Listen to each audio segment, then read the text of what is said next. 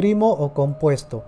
Un número es primo cuando al número solo lo puedes dividir entre 1 y entre sí mismo. Pero si lo podrías dividir entre cualquier otro número, aparte de estos, sería compuesto. Para reconocerlo, si la última cifra es uno de estos números, va a ser compuesto. Y sí, aquí está el 4, así que 444 es compuesto.